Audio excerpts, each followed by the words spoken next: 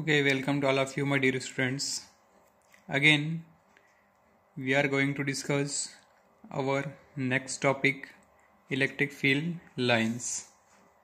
Okay, in our previous lecture, we discussed on electric field due to dipole at axial position and equatorial position and electric torque due to dipole at uniform electric field. Okay so, our next topic is electric field lines. Okay? Electric field lines is what? Electric field lines एक imaginary curve है और imaginary curve electric field की information आपको देता है कि electric field lines जो है वो क्या शो करती है, किस तरीके से वो बनाई जाती है।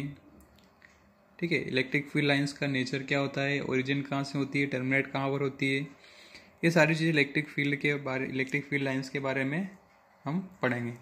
आप टेस्ट चार्ज से इलेक्ट्रिक फ़ील्ड का एग्जिस्टेंस आप कर रहे हैं कि इलेक्ट्रिक फ़ील्ड है किसी चार्ज की वजह से, किसी सोर्स चार्ज की वजह से, और उस इलेक्ट्रिक फ़ील्ड की वैल्यू कितनी है E equal to F upon Q naught ये इलेक्ट्रिक फ़ील्ड की वैल्यू है। तो उस इलेक्ट्रिक फ़ील्ड को आप रिप्रेजेंट कैसे करेंगे? ठीक है?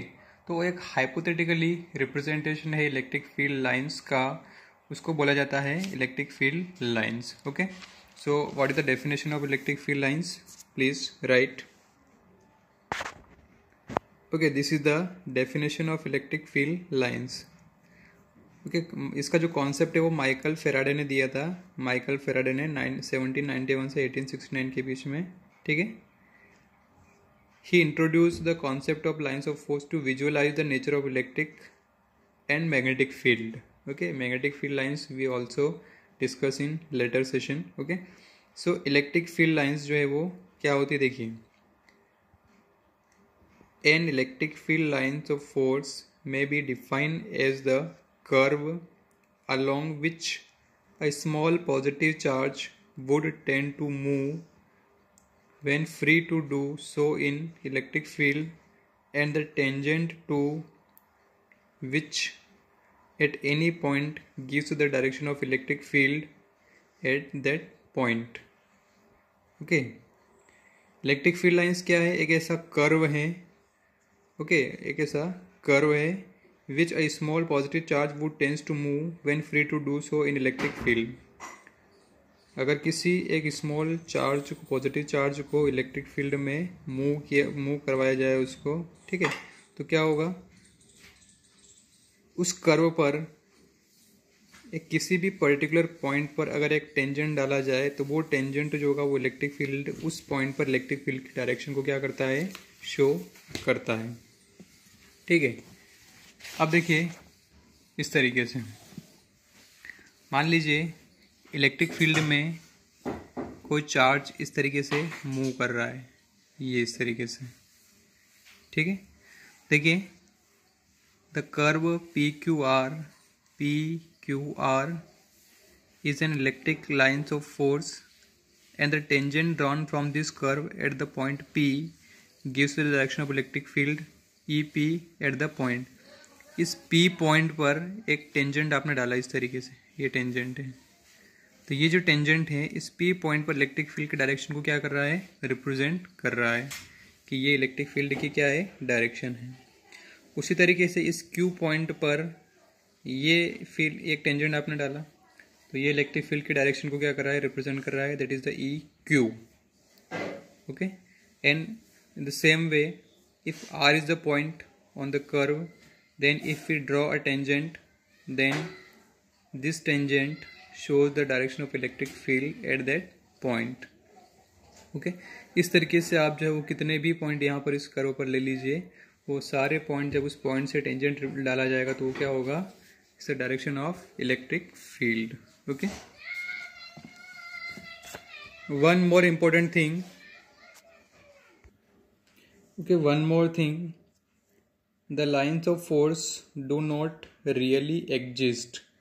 They are imaginary curve okay ये रियली कोई भी इलेक्ट्रिक फ़ील्ड लाइन एग्जिस्ट नहीं करती है। एक से भी ये क्या है? एक इमेजनरी कर्व है okay so there are some important property of electric field lines okay so please write in your copy okay what are the property of electric field lines okay first is the lines of force are continuous smooth curve without any break first point क्या है the lines of force are continuous smooth curve without any break okay the electric field lines are continuous smooth curve is any without any break like this okay this is the continuous and smooth curve without any break okay now second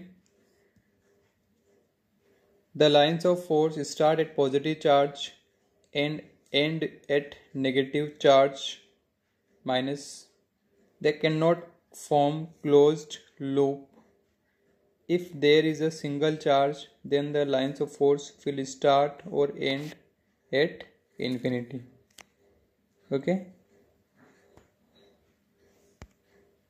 what is the second property the lines of force start at positive charge electric field lines जो positive charge से start होगी और end कहाँ पर होगी?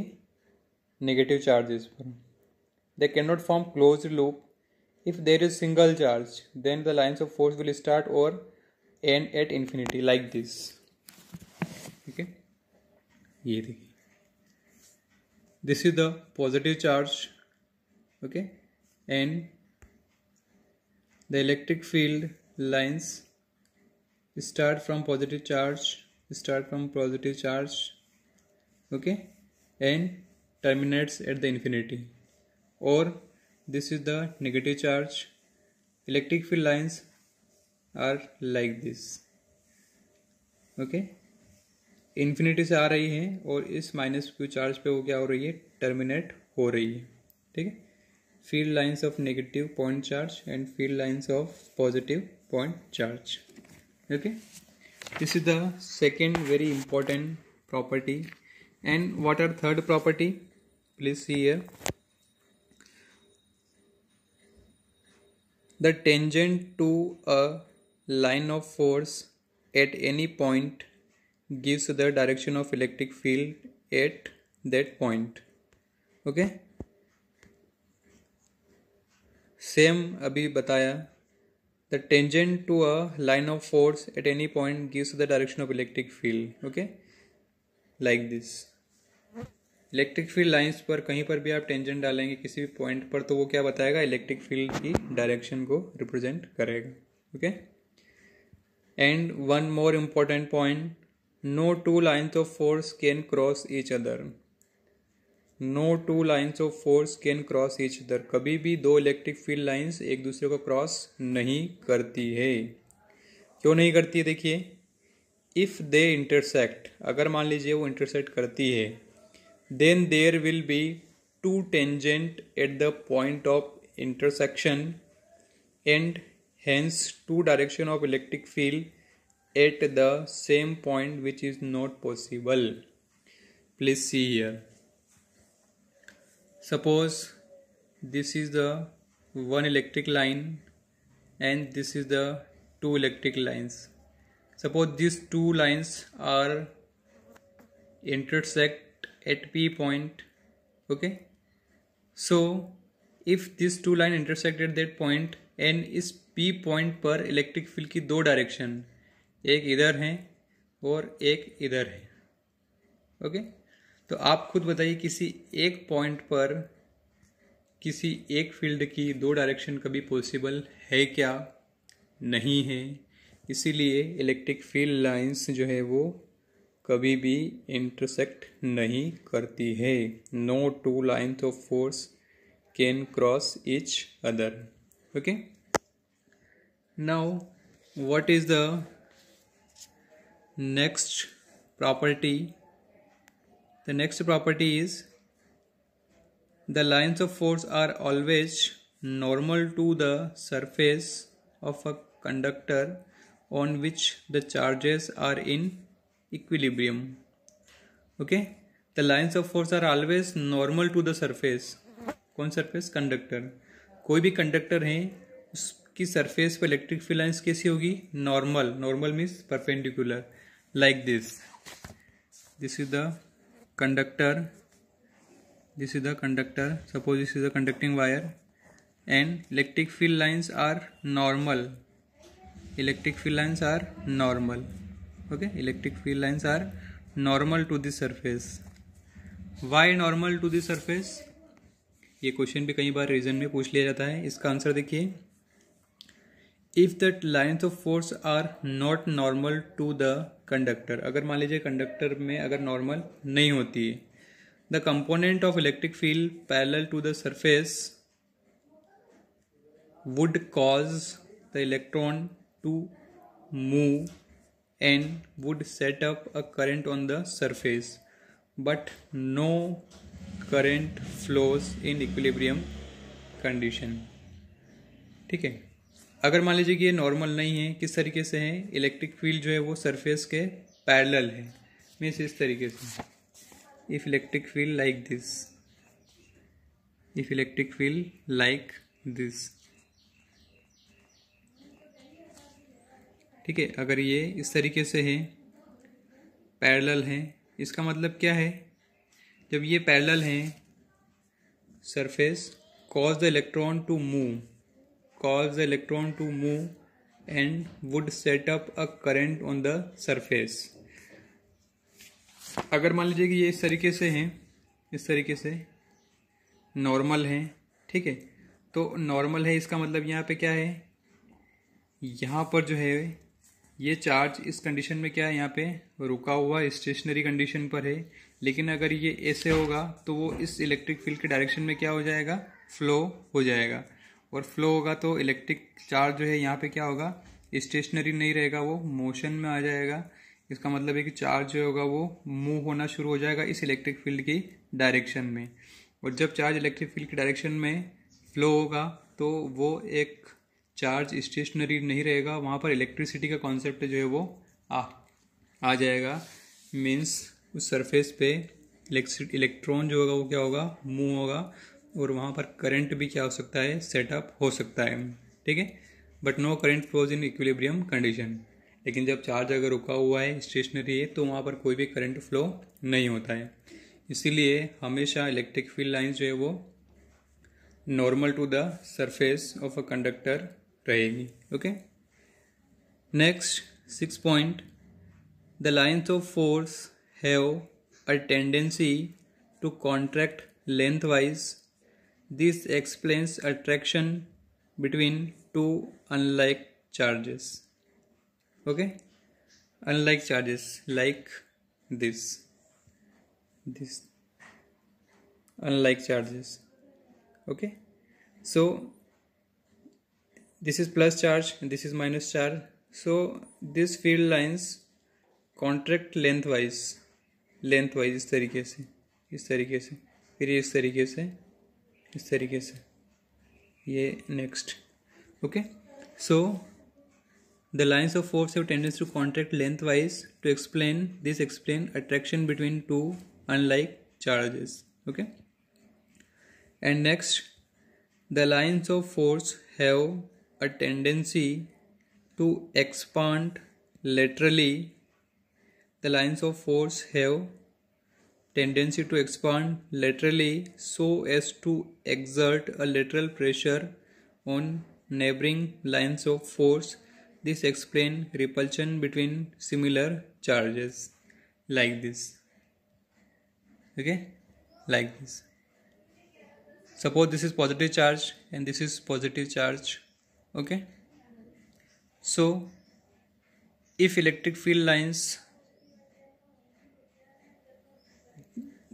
this is the electric field line originate from plus q charge and this also plus q charge. So if these electric field lines try to move on this on in this pattern like this and like this but due to force of repulsion force of repulsion they exert some pressure and the pattern like this okay because this charge exert a repulsive force on this charge and this charge is also repulsive force on this charge so the pattern of electric field lines like this इस तरीके से pattern जो होगा वो बनेगा ठीक है तो क्या है the lines of force have tendency to expand laterally तो इस तरीके से वो लेटरली क्या होती है एक्सपांड होती है so as to exert a pressure lateral pressure on the neighbouring lines of force एक दूसरे के ऊपर क्या लगाती है?